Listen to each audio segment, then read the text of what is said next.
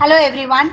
Welcome. It's my pleasure to invite you to this conversation with Akshay Kothari on his journey as a leader and how behind the scenes he has shaped many startups. Akshay started a company, Pulse, which eventually got acquired by LinkedIn. And today, Akshay is CEO, COO of Notion, the popular note taking uh, productivity app that a lot of us have gotten addicted to use on a daily basis. Thanks, Vani. It's wonderful to be here and it's great to see you. What do you think behind the scenes in thinking of a product and product development uh, creates this kind of popularity of a product and uh, you know somehow certain products get that right what creates these products that really really take off and delights users you know so you've lived in the bay area so i can uh, can I give you an interesting analogy I heard recently that I really liked, which said, which said you know, there's two important streets of San Francisco. One is the Mission Street, the other is the Market Street. And I really like that analogy because essentially for companies, you know, essentially you need a strong mission, but along along with that, you kind of need to be able to wave the market, like kind of really kind of you know get the market wave that you can really go over. So I would say on the market side, one of the things that's happened, you know, if you just take a kind of history of compute, kind of history of uh, computing in some ways. I guess before computers arrived, you know, we were doing all our work on paper.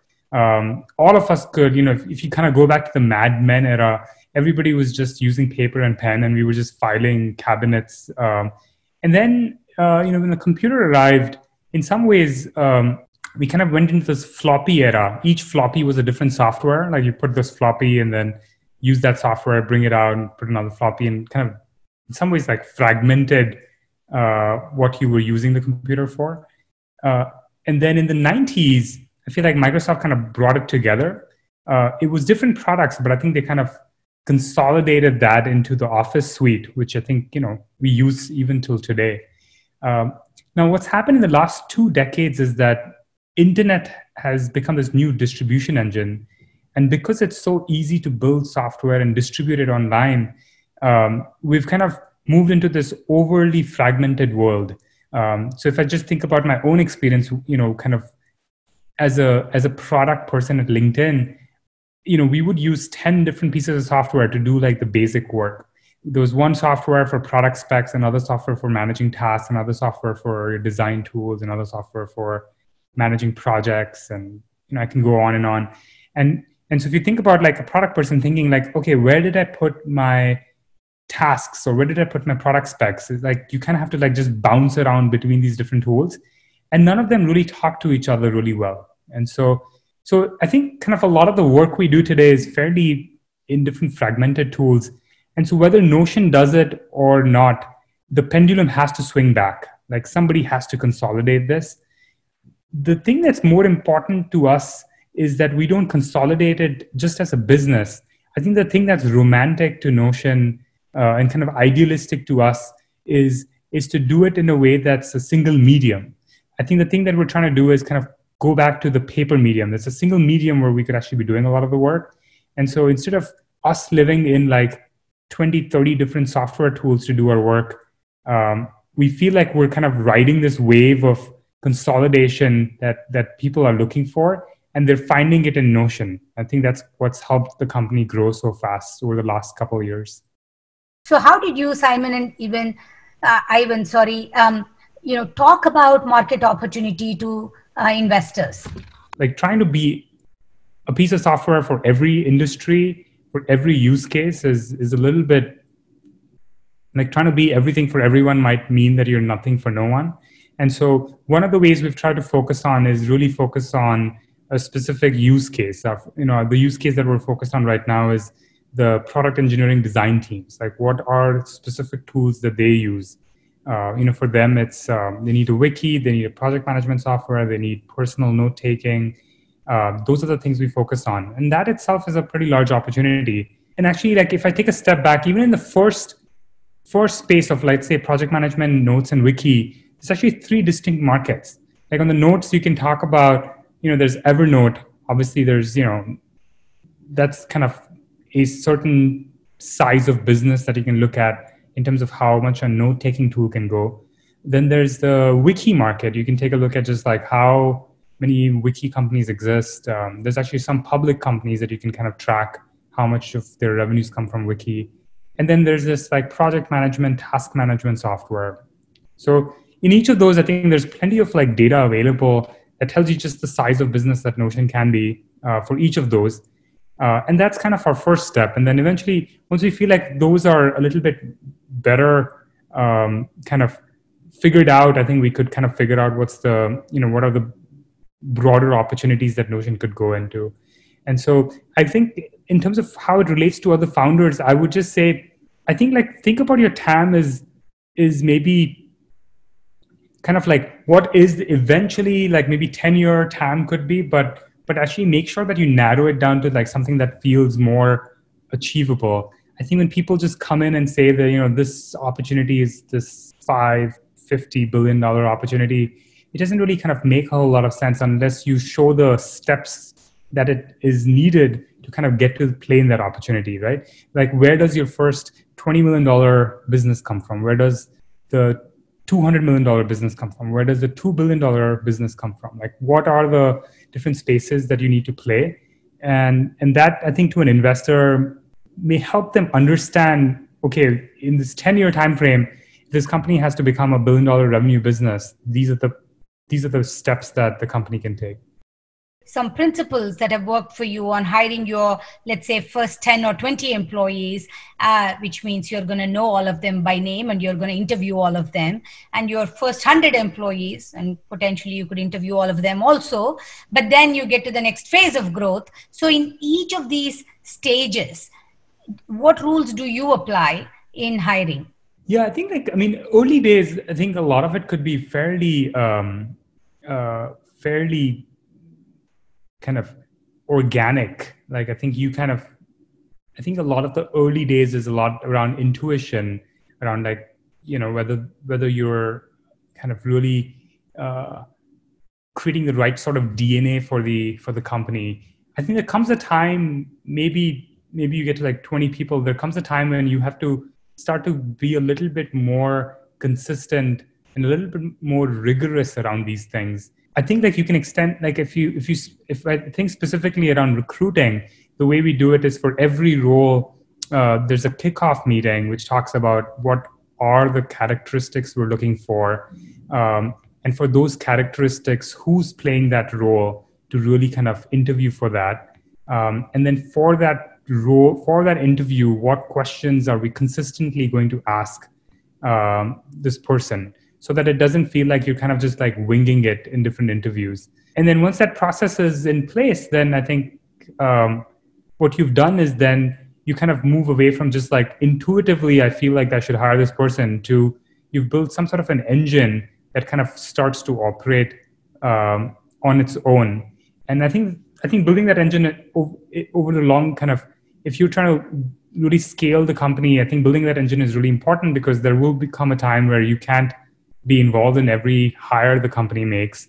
And if you haven't rigorously thought about these processes, then the next kind of layer of management will just be making gut hires that may or may not be aligned with your company's values. How companies and entrepreneurs track metrics for their business says a lot about what is the emphasis of their business. Is there a way to generalize this for entrepreneurs to uh, think about truly uh, w- what does matter in your uh, business? You know instead of metrics if you can actually come up with like a company equation that really kind of explains your business and then you can make sure that every single person in the company understands that equation so they know what part of that equation they're responsible for um, you will see your kind of true north metrics go up if everybody's kind of all focus on this on that same equation. Um, so just to kind of give you a simple example, like you know, in a SaaS business, I think recurring revenue is a big one. Now, you could just say like, oh, I want to grow recurring revenue, and that's fine. Uh, but what drives that? If you kind of take it one step one step deeper, you find that recurring revenue is essentially business that you kind of preserved from previous week, new business you added, uh, expansion business you added, and then you remove the contraction you had from existing customers, and you remove the churn you may have. Somebody may have canceled the product. That's a simple equation. And now this week's recurring revenue is just an equation that takes into account all those specific metrics. Now, now you can decide, well, you know what? Like the product team should worry about new business, and the maybe the customer success team should worry about the contraction because maybe they can reduce churn by just like talking to customers. And if you just kind of lay those simple equation out, you kind of are able to kind of grow your true north metrics because you have a lot of that equation spelled out much more openly to all the employees. So, what is your whole philosophy around monetization, and how should entrepreneurs be thinking about this?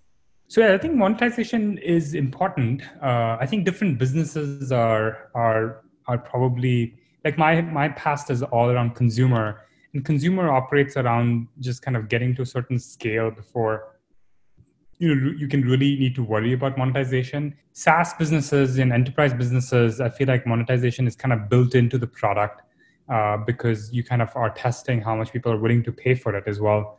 Um, i guess one of the values that notion has internally is is kind of our thinking has been you know revenue is a resource. And so uh, and so instead of kind of thinking about uh, active usage and business as opposing forces, we think of it as very complementary forces. Um, more P users should mean more revenues, and more revenue should mean that you can reinvest a lot of those dollars back into the business and continue to grow your user base. And so, I think for us, at least at Notion, we've been very uh, we've we've definitely prioritized it. We haven't tried to prioritize profitability, but we've tried to prioritize building a business model that continues to kind of fuel the business, which then we can take and reinvest into kind of having more impact in the world.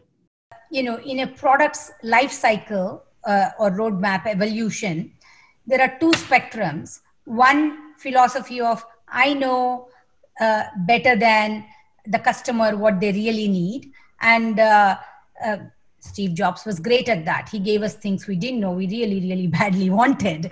You know, so there is that version of product then there is wow you know my customers led me to understand what uh, really the use case for my product is which i didn't really realize so there is a customer deeply customer led product evolution is a middle ground or there is kind of one good way of doing this um, so and and that is basically i think you kind of you are listening to your customers but you're not building exactly what they're asking you for. I think you're kind of listening for the problems they have.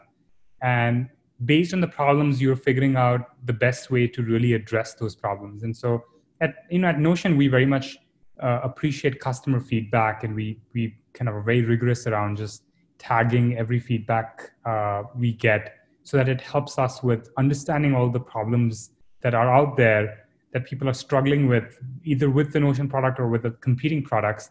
And we think about ways that we can be building a better product. Um, and so i think there's a there's a fine line between like your customer tells you to build a yellow box and you build a yellow box versus your customer tells you why they're having this problem and you decide to build a yellow box. You know don't take everything your customers are saying and build that but actually just go deeper. Like keep asking why and, and find out what are the core problems they're struggling with and then figure out how your product product could be really solving for that. And actually what's your checklist on uh, qualities traits that create great companies and uh, great leaders? I would say definitely for me like at least the companies that i've worked at um, they they tend to be you know, if you think about LinkedIn or even Notion now, I think we're very mission driven. You know, a lot of what Notion is doing is is uh, is not new ideas. It's actually like you know ideas that Douglas Engelbart and Alan Kay talked about back in the 70s and 80s, uh, which is kind of part of the computing history was lost, and we're trying to bring it back. And so, so we're all kind of students of computing history, and and we're kind of very mission driven, which I think uh, actually makes it fun because it doesn't you know in good times and bad you always realize that you're kind of doing this for the greater good which i think is really great um, in terms of leaders i would say you know, I, I think there's probably um, probably the one trait that I think is is the one that I look for is resilience, and and I think that's probably not that's probably a trait that I've seen kind of most successful founders have. But thanks for being so generous in sharing your ideas and your learnings um, uh, here with all of us, uh, Akshay. Thank you so much, and wish you the very best. Thanks, Vani.